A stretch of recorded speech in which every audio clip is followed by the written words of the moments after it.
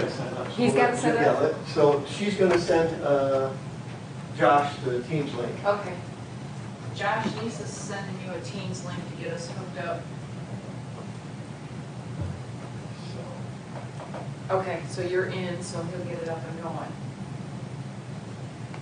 And we'll get it up and running, if you're not in, I'll bring you back. Okay. Okay. Is Charlie supposed to be? Perfect, thank you. Yes, Oh, it wait, is. not that. Sixty-five, I I think, thought, I right? thought I saw it was his birthday today. His wife was up bright and early. Yes. He won't be coming. He's excused. So if we could maybe just hold off a minute or two, because we're gonna get everything set up. And then uh, Doug Herman from Lynch, Dallas, the city rep, will also be joining us through. Happy birthday, Charlie! I gave an excuse. It's your birthday. You did this, didn't you? No, your wife did this morning. Yes. She can't be But trusted. if it was your birthday, they would have brought you some day old cake or You'd something. think they'd bring me something. We would have at least got you a little crown or something to wear up there. Yeah, tiara? Yeah. Maybe I still have one downstairs. I could go look. No, that's all right. That's all right. What happens in City Hall stays in City Hall. I think there's an old man. Yeah, they're about to there, you know. record it, though. Oh, oh yeah, yeah. The walker? So now you can tell everybody what it feels like to turn 50. Again? Again, Not turning 50. How many, if you don't mind my asking? 65. Good for you. I get, Enjoy social security. I get, I get to not go to work tomorrow if I want. But you're going. I, yeah. My financial manager is is comfortable in the, in the way that she's living right now, so she would prefer that I, that I continue.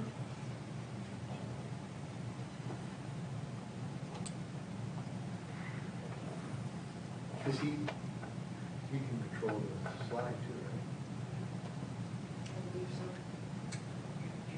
I'm gonna hit the invite button on that thing. We're trying to get everything set up, we're, Sure. so. Set up on, on here, Josh. Yeah, it's gonna hop. Four, three of them? Yeah. Uh, almost six. Oh, then you, Well, they got no pension. oh, don't they? Oh, I didn't know that. Now, anybody new going there is just a four oh one K. Okay. They're, they're, pe- they had two pensions and, or since they've opened up, they, they quit doing, oh, 12, 13, 14 years ago, they just went to a four oh one K. Well, you should be able to talk over the overhead. I'm not going to that anymore. except Can you hear us? Doug, can you hear us?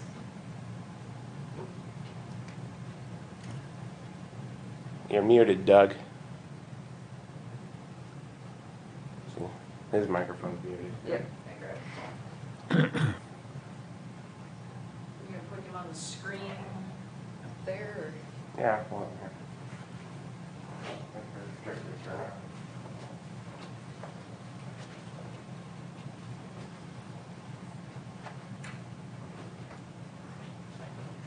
Unmute yourself, please.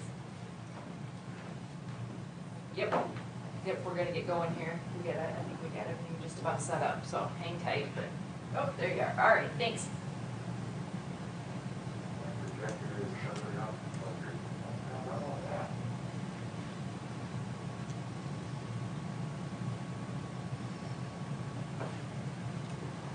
Doug, can you hear us? Doug, can you hear us?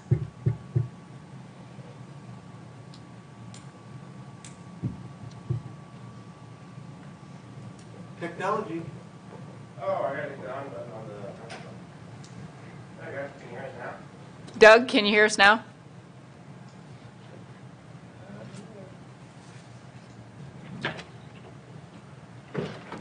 Guess I could really talk bad about him right now, couldn't I? Then he'd hear you. And he looked. Doug? Nope. No go, Josh. Well, there's a, there's a no microphone, you might have to have uh, something cleared on that, on the screen up there. It says no microphone on the Yeah, screen. it doesn't, that, doesn't get a microphone. Okay, okay.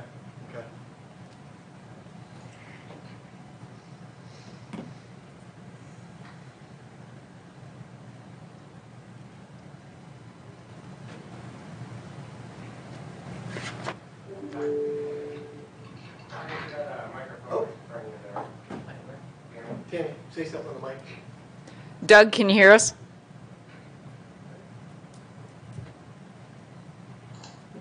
Hear him, I can hear him typing. Yeah, but he, Should be working. I think maybe I have the volume turned up on his computer. You're gonna call him, or I can do it? you want to call him? That way it doesn't echo. Yep.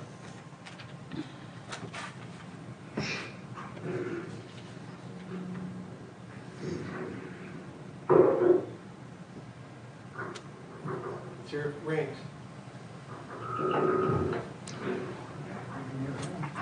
Yes. We can hear you. Hang on a second.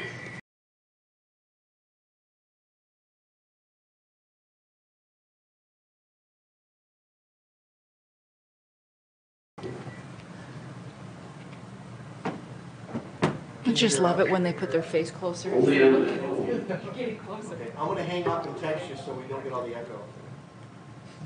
Okay, I'm gonna look at City of Clinton external on my screen. It has a microphone with a line to it. Okay.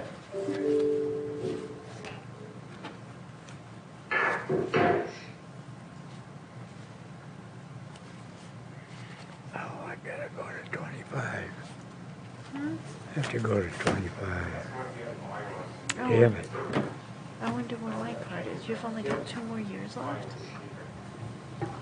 Thank, thank goodness. That makes me wonder how far I have to go. He's got a license, right? He should click on that, shouldn't he? His is working, it's ours. He says That's how old I am. I got a senior pass to all the national parks. Oh, my parents have one of those. They must be old. Well, I don't think they're old, but apparently they're old Yeah. enough to have a senior You pass. showed me that his Because is he- showing up I'm old. They're 70, 78. That's what I I don't am. know. 76. That one's supposed to be, Josh Amos was supposed to be, he should be able to hear us. That doesn't sound good.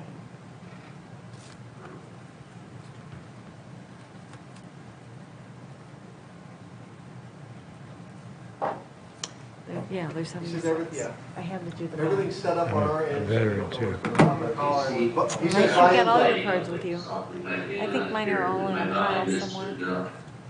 Were you in? I've got a pile with whatever cards. I was gonna say, I wonder if he hawk, okay, I wonder if he, Calling with his cell phone. Yeah. Either that or call in with yourself. Here's the dial, I mean, it's, it's, it's clear.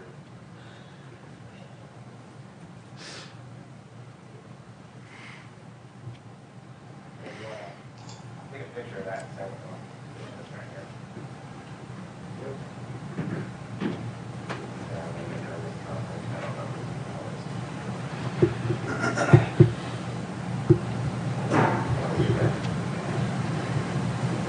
Can I ask a stupid question? sure. If he knew we were all coming here and we're gonna be here at a certain time on a certain day, why wasn't this all done beforehand? Hmm. You'd have to ask the person in the control room that. I'm just saying, that's what I would have done, but I, Yeah. Fully agree.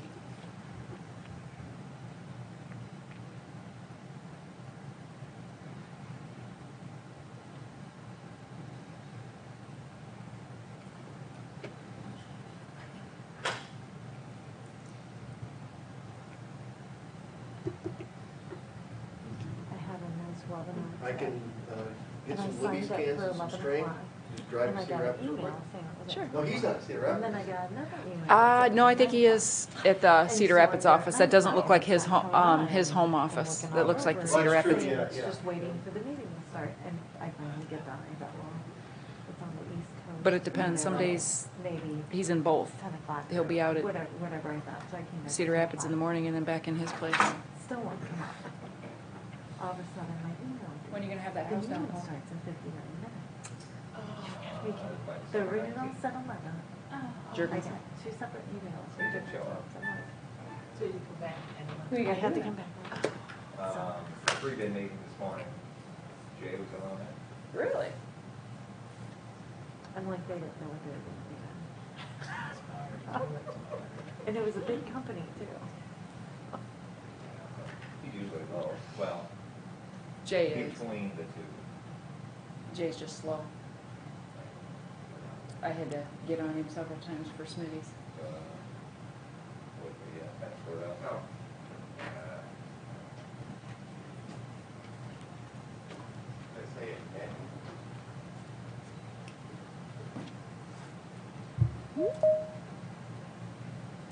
Ah, there he is.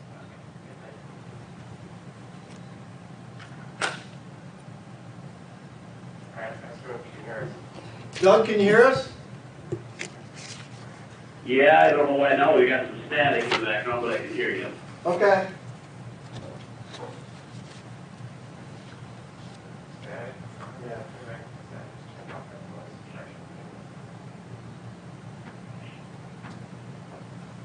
Okay. Everything else ready though, if we want to get started?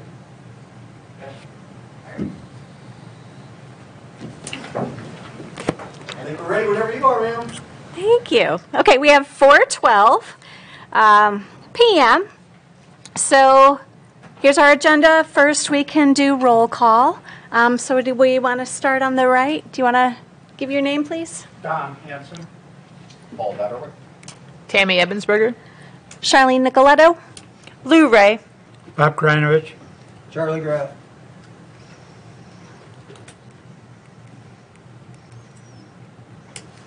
Okay, so we, do we have anyone who would like to review the minutes from September 14th, 2022? Um, If there are any changes we should make?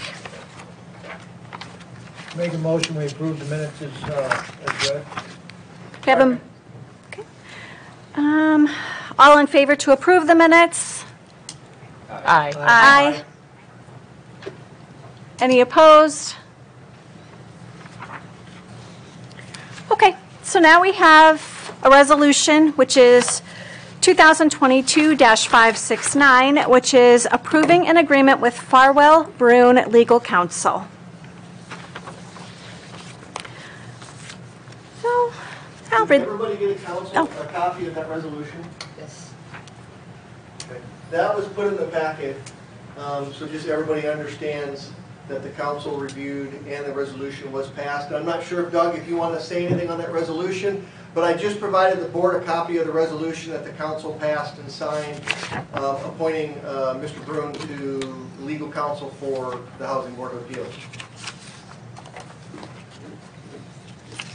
Yes, just, I think, just to be sure everybody's on the same page, I think you've all talked about this, I know Pat O'Connell was involved uh, more than I was, but the purpose behind this, or the reason for it, is that there can sometimes be a conflict between code enforcement or city staff, if you will, and uh, the board, or, you know, put it another way, that staff is entitled to an attorney to represent them and present their arguments before the board.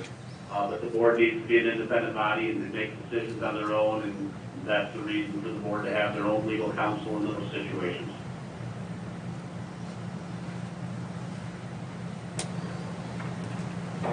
Thank you. Any Yeah. questions or discussion on the resolution, I think is the purpose for putting it in there. That looks pretty good.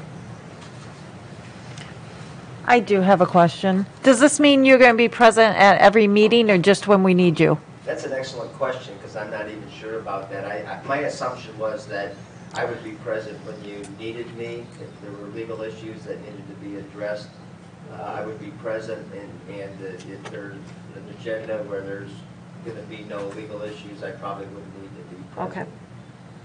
Thank you.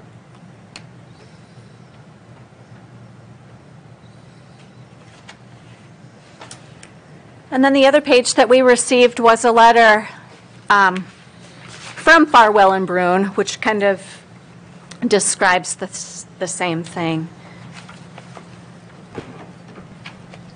And so then I think what we could do as a board, if we wanted to, if we were in the middle of something, we had questions, we could probably move to adjourn, right? And then ask the lawyer to come in for a meeting, is that what we could do? So are you able to hear them? It is on. Uh-huh. Can you hear me? You're, Doug, can you hear me? Yes. Okay. Um, What the, uh, what the question was is, is so if the board is having a hearing and they have a question for legal counsel, would that be something, would they call for a recess, or would they, how, how would that be handled? If they need to, feel they need to talk to counsel? Sure, I think there'd be a few options. I think, of course, the best case scenario is to do, do our best, if you will, to identify in advance if they believe there's gonna be a need for counsel and and have that arranged in advance. Um, In those circumstances where it does not look like uh, the board needs legal counsel for something on the agenda, and all of a sudden, in the midst of a meeting, they decide that they probably should have or need more information, um, I think uh, one of two things could happen. Um, one, potentially take a recess and see if, uh, legal counsel is available, uh, potentially by phone or to be involved in some virtual manner at that time, or to recess and, and, uh, reschedule a, a reconvene of that meeting, if you will, to continue whatever the discussion is.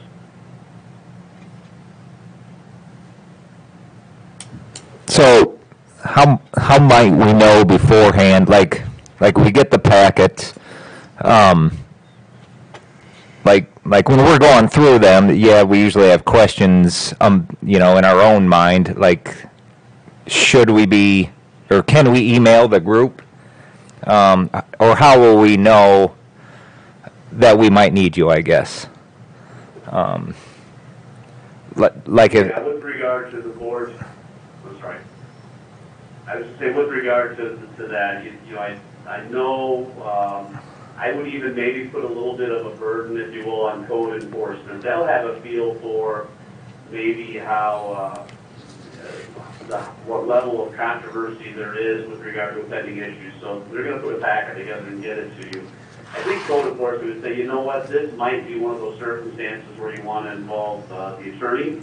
Um, Or they could say, you know, this is, you know, this isn't quite so onerous and we don't really know that anybody's going to show up. We don't think this is going to be a big deal kind of issue. The facts are pretty clear. Uh, You know, never telling you you can't involve uh, your attorney, uh, but kind of giving you a feel for how they see it. And then I think as a group, as you review your packet, um, I think it would be difficult for you all to communicate amongst yourselves about it uh, via email for fear of being accused of an open meeting type violation. But I think any of you could call the chair um, and say, you know what, when I read through this packet and the information from code enforcement, I really think we're going to want our attorney there. And, and maybe just as a group, uh, come up with what your policy is going to be in that regard. So if one member says, I really want the attorney there, is that enough? Or if the chair gets a call from two members or more that say, we really would, we really would like to have our attorney at this meeting, um, that that would be the standard to follow then to, to have Mr. Mr. Groom be part of the meeting. yeah, that makes sense. One of the things that we will be doing is